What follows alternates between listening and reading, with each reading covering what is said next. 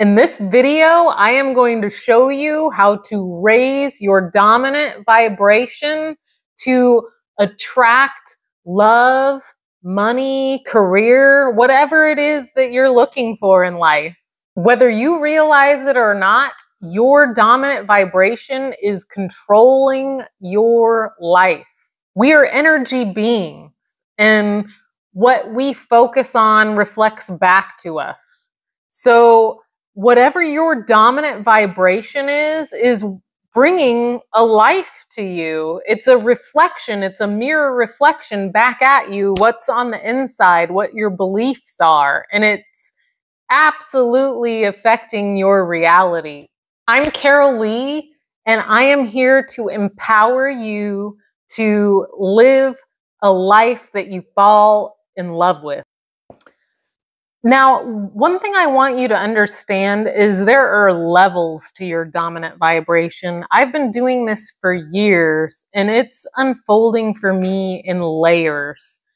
Um, do you ever find yourself like you're doing everything that you've been taught to manifest? You're visualizing, you're meditating, you're manifesting, you're setting your intentions, you're journaling but yet you kind of keep just coming back to this one place.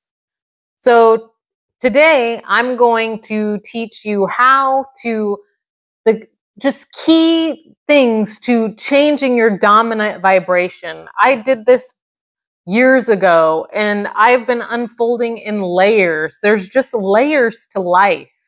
And you are where you're at. And being okay with that and understanding that is essential. We just are where we're at and we're going to unfold and flow in layers and all of it is okay. You know, the art of allowing, uh, it just sometimes doesn't make sense to us because we want something so badly. But one thing I would like to remind you of is detaching that is a big key to manifestation and growth is detaching from outcome and understanding it's not always going to unfold the way we think it is. It's likely going to be even better than we think it is. And I know that's hard to grasp at times, but that's the way it works.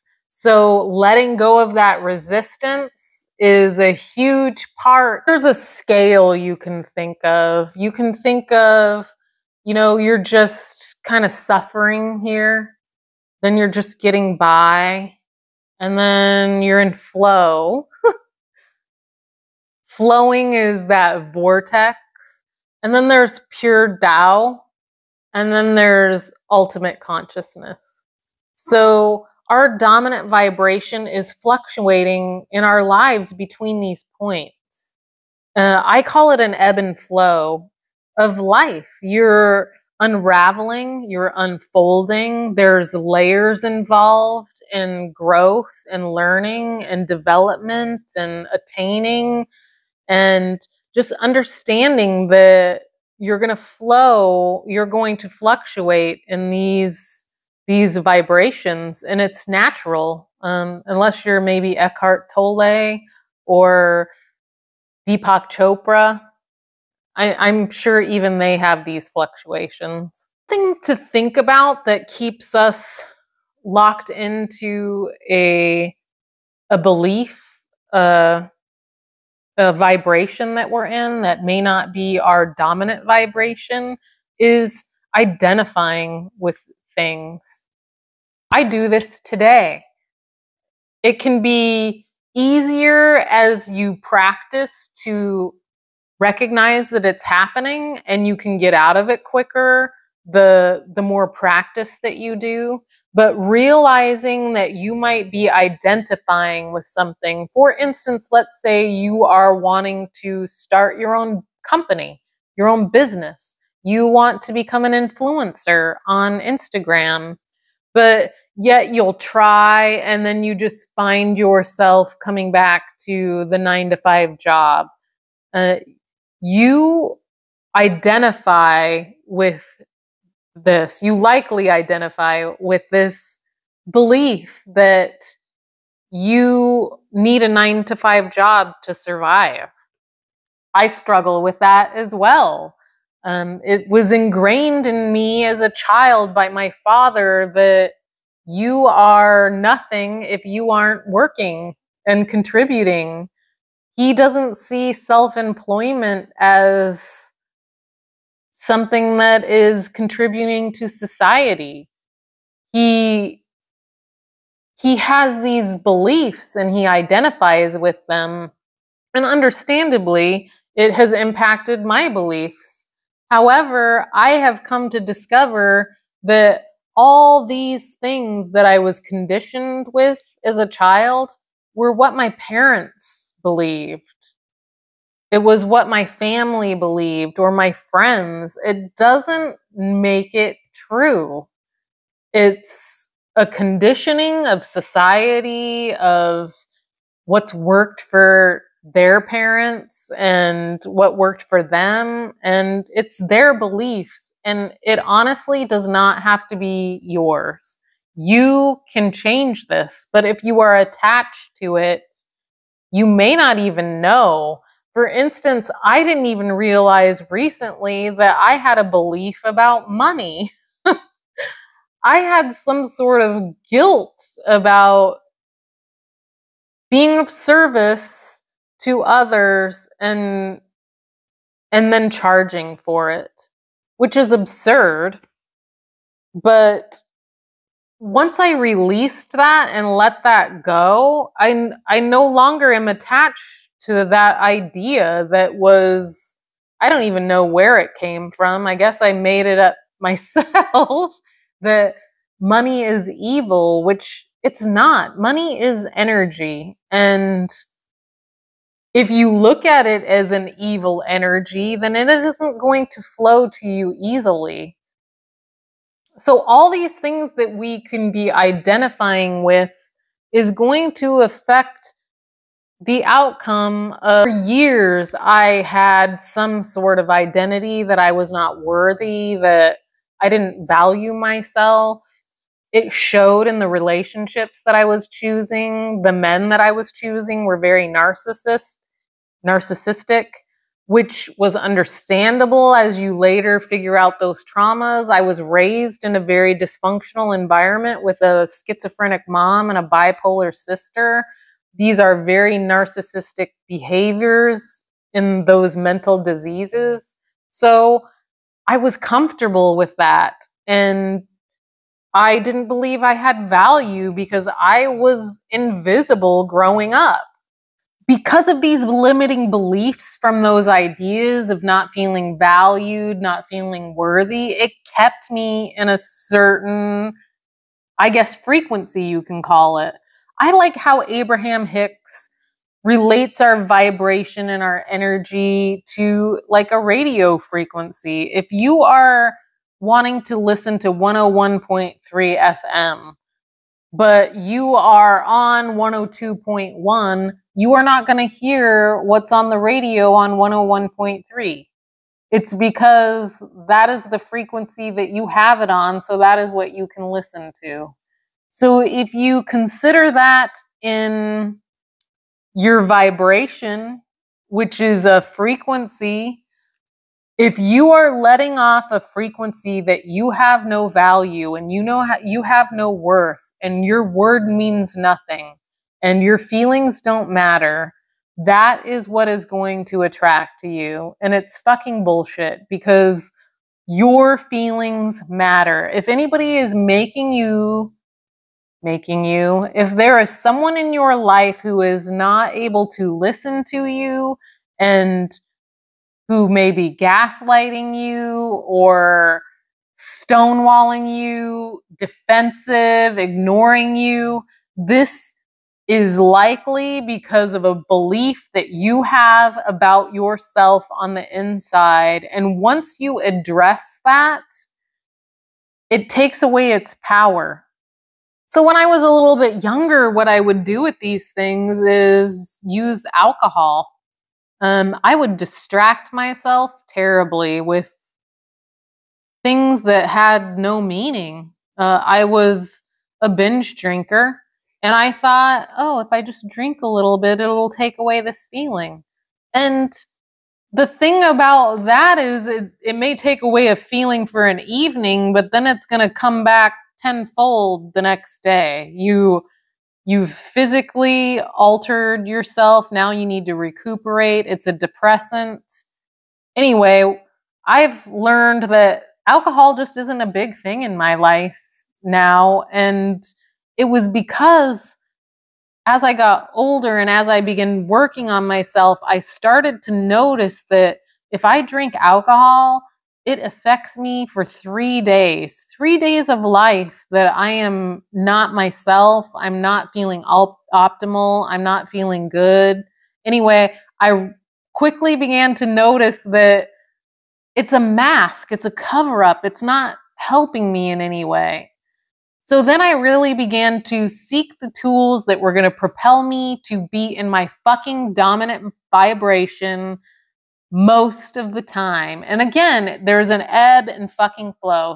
Once I began to work on myself and meditate and address these false beliefs and work on my inner consciousness, I began to get more high vibe, be in the flow, and then really be in my fucking vortex most of the time, which is a better high than any alcohol or pot or anything that I've ever experienced. So, one thing I want to just reiterate yes, my vibration fluctuates, but for the most part, I am in high high vibing times. There are little fluctuations here and there, sometimes a big one that's like once a year. Yesterday was one of those days for me. Like, I just came back from a vacation. I had done like an 11 mile hike two days before that. My body was tired, recuperating. Like, it just was kind of like a low vibration day for me, but I understood that. I really understood where all that was coming from. And those days are okay. You just don't want to fucking live there, which I don't live there anymore. And I understand when they're occurring that I am not going to fucking live there. I'm in a way better balance of being in my dominant vibration, doing what I love. Anyway, in this video, I am going to show you how to raise your dominant vibration and attract love, success, money to your life. But just generally speaking, for you to attract love, for you to attract money, for you to attract success, it's really about raising your level of consciousness key to doing this is really understanding what you identify with, how you see yourself, and your beliefs. Really understanding where you're at with that. So, there are emotions that are on the lower vibration scale. You can say it starts with, you know, you're in that suffering. You could be afraid, you could be angry, you could be sad, you could be depressed this could be something that was learned from childhood that you're identifying with, but really understanding what that is, where your emotions are, and if you're letting it fuel you. For instance, with me, I was raised in a very mentally ill household, and I was not heard. I was not listened to. No one asked me how I felt. My sister was a person that was always in some sort of dramatic event. She would come home wasted. She was suicidal. She was on drugs. She got caught up in older men. It was just always something and while she was going through that, my mom had severe mental illness. And it was also about her. She would collapse in the middle of the hallway and start crying. And I learned very young to be perfect.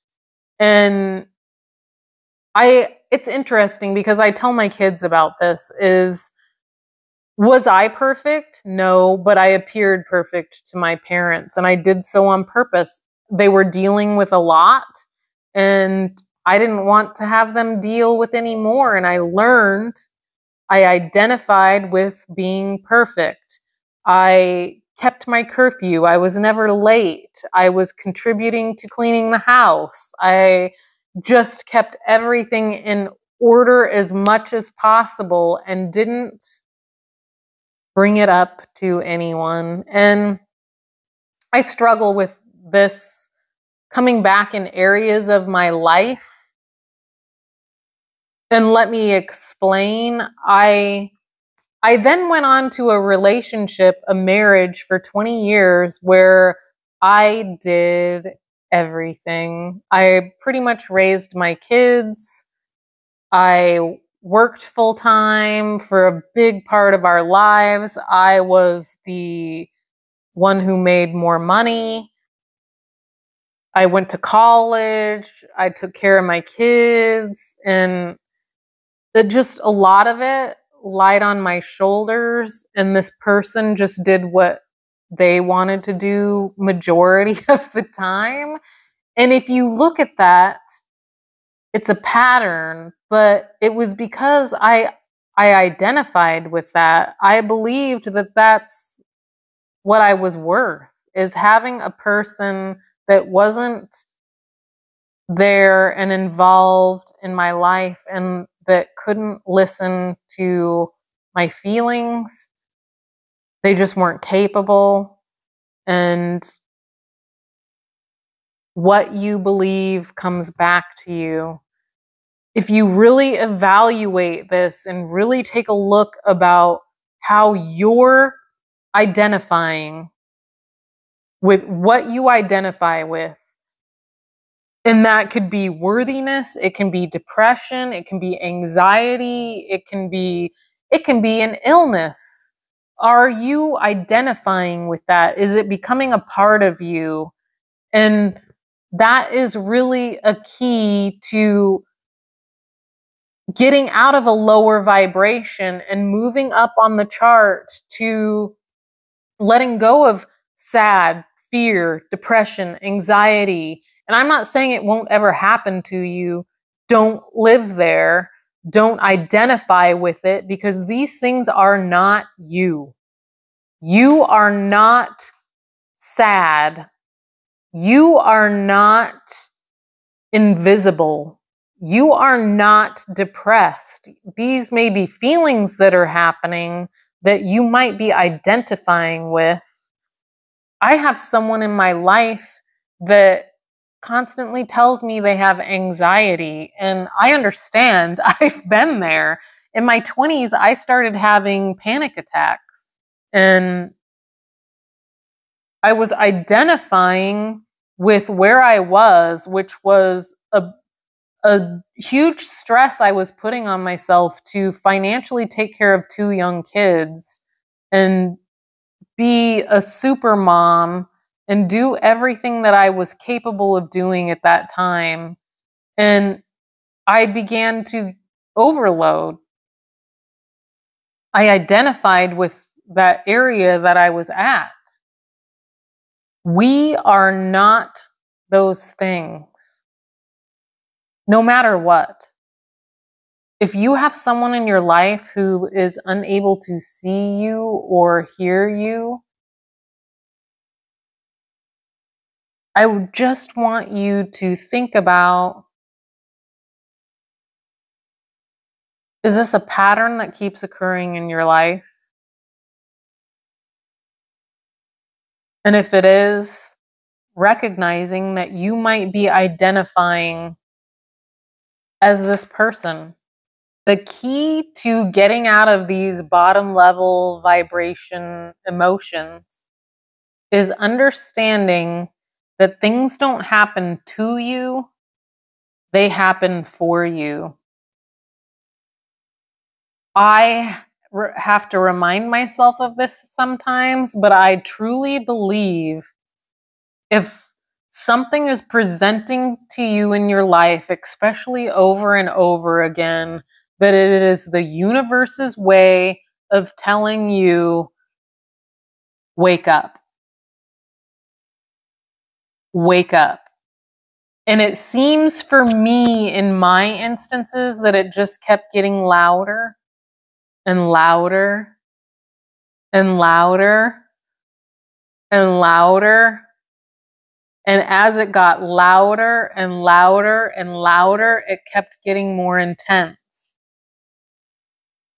I think one of the hardest things to realize when you're in the depths of it is understanding that I know for me in in my case, um, I believe that each of these instances led to me having an awakening, becoming aware, and really working on having a higher consciousness and being raised with a a very mentally ill mom and sister and then being in that 20 year marriage each of those things has propelled me to like there was something inside of me that knew that I just wanted more and I don't know, you can go back to some of my videos. I talk about this. I had, during my marriage, I had a situation where I deeply desired connection, friendship, and I knew that there was more. And then one day I had a realization that if I wanted deeper connections, if I wanted true friendship and love and success and money in my life, it had to start with me. I needed to change who I was. And that has really altered my existence on this planet. It has altered what I allow in my life. It has altered the kind of friendships that I have. And let me tell you, I'd rather have zero friendships, zero people around me than allow negativity, harm, disrespect. I just am not going to do it anymore. And one thing I want you to understand is you are in charge of your destiny. Don't let anybody tell you any different. If if you feel you need to go a certain direction, that's up to you. It's not up to anybody else. And that really changed my fucking life. I started I started researching, meditating. Uh, Deepak Chopra really was a huge part of my mindset shift and gosh, it was probably 2000, early 2000s that I started listening to Deepak Chopra. Seven Spiritual Laws of Success utterly changed my fucking like it was like a kapow. Um this stuff was way less available then. As I began changing these things, I learned how to navigate through like lower level vibration emotions.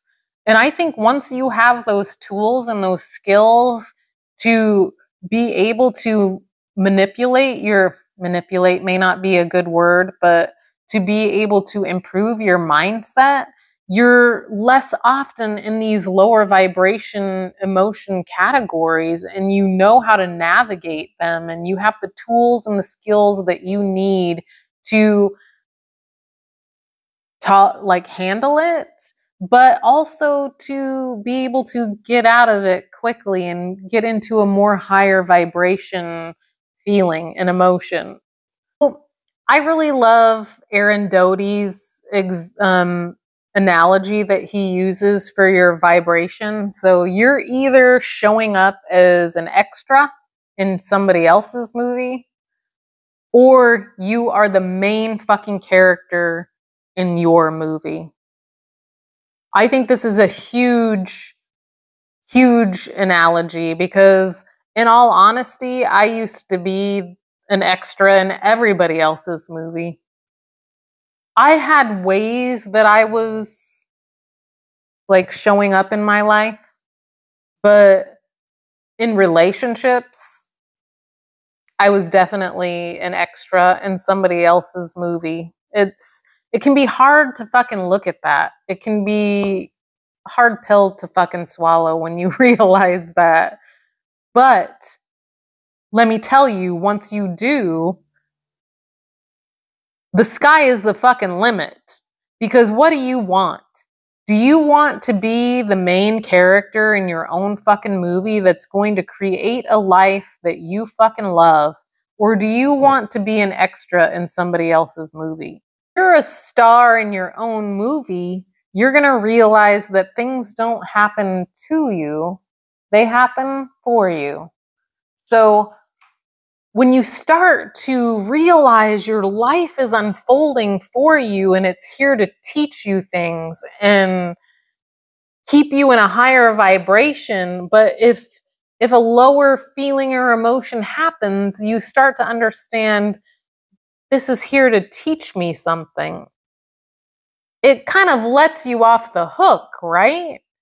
It's it can be hard at times when you're in that to go, what can I learn from this? What is this trying to tell me? Can be really fucking hard. But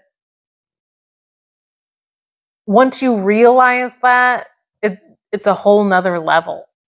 Being in the cameo, being the extra in somebody else's movie, you're going around going, Can I be in your movie? Can I be in your movie being super needy and maybe being rejected and letting that debilitate you, but you're here to be in your movie. And when we're the cameo in somebody else's movie, we're kind of just on autopilot, not even recognizing what we're capable of, not having empowerment and awareness and being awake and understanding that you fucking matter. You're lost in the societal idea and conditioning of not being aware that you're here to live a high vibe existence. And you're not meant to follow everybody else. And you are here to be taught and learn how to navigate all these things and you deserve to be a fucking main character. No, you deserve to be the star in your movie. One of the key ways to raise your dominant vibration is really to identify your core vibration, your purpose. Look at who the fuck you want to be, what drives you, what you're passionate about. I know for me, a long time, my passion has been fucking fitness. It drove me. It like fueled my fire. It empowered me. And this is going to propel you when you find that thing that really like fuels you up. Like to find your fucking purpose. And you can do that by evaluating how you fucking feel about it. What like just keep testing testing things. It could be fitness it could be cooking it could be like being of service to people. What fucking empowers you? Um so really identifying your core vibration. You can even work on identifying who you are not. Um this identifying your core vibration is really going to bring you to a sense of awareness about yourself. It's going to allow you to address these stories and these beliefs that, that you might have and really address them and change them. So the more you get to know yourself, the better it is going to like help you become aware and really be able to get rid of these beliefs that we're talking about, these stories that you may identify with. The next step is letting go of what isn't serving you. So, really identifying these stories and then fucking getting them out of your life. It, it, could be a belief that you have that you have to work a nine to five job, that you can't become an entrepreneur, you don't have the skills, you don't know enough, you can't be a famous YouTuber. Let that shit go because it is not serving you. It could even be that, oh, this is the same old type of relationship that I, this is what I deserve. This is what, this is the way it is. This is all there is. No. Let go of those fucking ideas that aren't fucking serving you because it's a limiting belief and it's keeping you where the fuck you are. And I'm I'm like the perfect example of that of once you let go of these ideas your your life really becomes limitless. Believe me, there'll be beliefs that are it's all part of these layers that I talk about that maybe come out later in life. Just like I was telling you, explaining that I had a belief about money that I didn't even realize was there. So as you grow and as you evolve, beliefs will come up, but it's where you're at, right? We are where we are.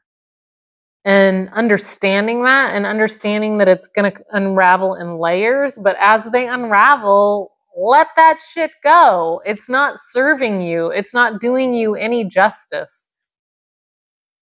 If you are overweight and you're like, I could never work out. I could never be thin.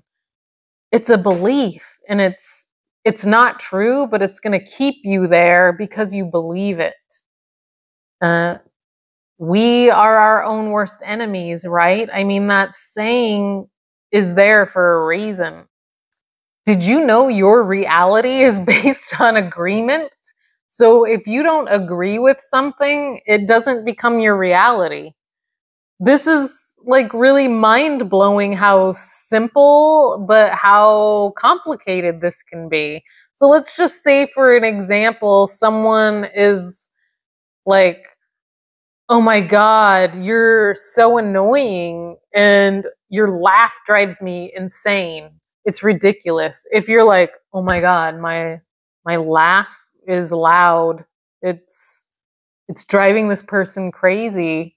And you start believing it and then when you laugh in front of people you're you're like trying to change your laugh but if initially you're like fuck you bro i like my laugh and you don't identify with that if you don't agree with it it will not become your reality and let me tell you, I can actually relate with this one. My mom used to say to me as a kid, Your voice is so loud. And sometimes she'd tell me it gets on her nerves. And I believed this to be true. And it's kind of a, impacted me a little bit throughout my life, but it doesn't anymore. I've let go of these limiting beliefs because let me tell you, a loud voice can come in handy in several instances. you could be a cheerleader, you can be a leader, you can be someone that can be heard and listened to. So your reality is based on agreement. Remember that. It doesn't have to be part of your reality if you don't agree with it. So let go of this old shit that is not serving you. Okay, finally, live this, practice it, be here every fucking day. And what I mean by that is become this. Your dominant vibration is what you feel, what you think, and what you do. Live it, practice it daily. Be here every day as often as fucking possible. this is the best thing that you can do to change your dominant vibration. This is what I do very first thing in the morning when I wake up. This is what I fucking do. I live it. I have a gratitude session. Being grateful is a huge part of manifesting, but also believing what you're grateful for, all that you have, that you are fucking waking up healthy, that you have a comfortable bed to sleep in, that you have a car that you get to drive that fucking takes you places, that you have a family that loves you, whatever these things are, fucking live them, feel them, embody them, and then living like think, feel, do. Then I set intention for my day. Like, my day is going to be fucking successful. I'm going to get this, this, this, and this done. And it's going to get me here, here, here, and here. And then feel the fucking feelings of what it's like to be this person in your dominant vibration and i highly suggest this is what i do is i do a deep meditation i try to do 20 minutes a day and then when i'm in that meditative state afterwards i i am living the life that I want to manifest. I am feeling it. It's happening to me. It's here. It's real. And as much as you can do that throughout your fucking day, this is how you raise your fucking dominant vibration. So remember, you want to find, identify your core vibration. What fucking fires you up? What empowers you? Is it fitness? Is it being of service? Is it getting a new job that you fucking love? Is it working with animals? Whatever that fucking is for you. Then I want you to, I invite you to let go of the shit that isn't serving you. Let go of those feelings of inadequacy. It's okay to have fear, but let it go. Do it anyway. Face these things. Like, I remember one time one of my biggest problems was feeling stupid at the gym. I became a personal trainer and this it's not even a feeling and I feel for people who feel it because no one gives a shit what you're doing there. And if anything, most of the people would adore to help you if you're struggling on a piece of equipment, they would happily come help you how to do an exercise. So that reality that I was creating for myself was fucking bullshit. Anyway, so core vibration, identify your core vibration, let go of shit that isn't serving you, and then live there. Live it, be it, feel it, fucking do it every day. And this is how you're going to raise your dominant vibration and really get out of this place of struggle and move up that ladder to be in flow and after flow. You know you live in the Tao I don't know if any of you have ever read the Tao but I have Wayne Dyer's book and it it's revolutionary how he really helps you switch your mindset about life. And he anyway, I highly suggest that book. But then there is, you know, a level of consciousness that's up there with enlightenment and really living in your vortex, creating a life that you fall in fucking love with. That's what I'm here to talk to you about. Please don't forget to like and subscribe. And I would love to hear comments from you and just let me know what you think, if this was helpful, what kind of videos you would like to hear about. Uh, I know that this is something that has transformed my fucking life, and I am literally living a life of my dreams. But not only that, is I'm a passionate advocate for myself, for self love, and no more people pleasing and really living for me and understanding that that is okay, even if it hurts somebody else's feelings, which is not anything I would want to do, but I'm also okay if that happens, if I'm expressing myself with candor and kindness and doing all I can. I'm here to be of service and empower you to really see what the fuck you can do because you are capable of a life beyond your wildest dreams. And I want that for you. Anyway, thanks for joining me. You can check out my Instagram. Uh, I am a full time life coach here to help and empower you. If you need one on one guidance, you can go check out my website at coachcarollee.com. Otherwise, I love having you here to my videos and don't forget to comment and let me know what you thought. I love you guys. Bye.